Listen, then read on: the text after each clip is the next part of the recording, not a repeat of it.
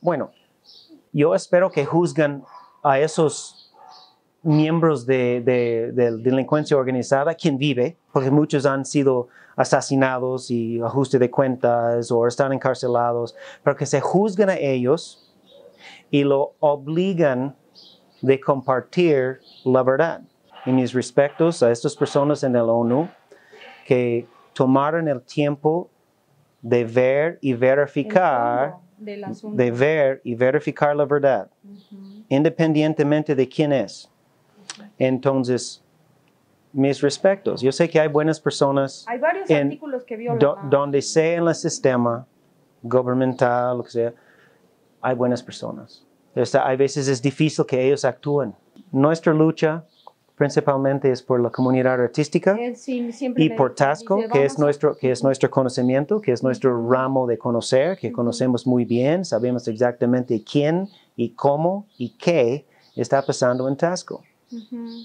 Y yo, tenemos mucha información de ahí. y, y- y yo entiendo por qué la gente no, no denuncia, no queja. Porque la cartel sí cumple sus amenazas. Por eso salimos y ya no estamos ahí. de- No estamos ahí. Viviendo. Tenemos desde 2014 que salimos y tenemos eh, que regresar, si es que acaso en algún momento regresáramos a escondidas. Ya. porque Estamos. Y cada vez que hemos pedido copias certificadas del expediente que tiene el juzgado de Tasco- de- de- del Alarcón, Ujú. mandan a citarnos. Para. No nos dan, no nos dan copias certificadas, nos mandan a citar. Ujú. Y quiero, que, quiero decir que ahora que salimos público con todo esto y queremos eh, y que hacemos otros ciertos movimientos legales, nos van a poner mucho peligro. Sí.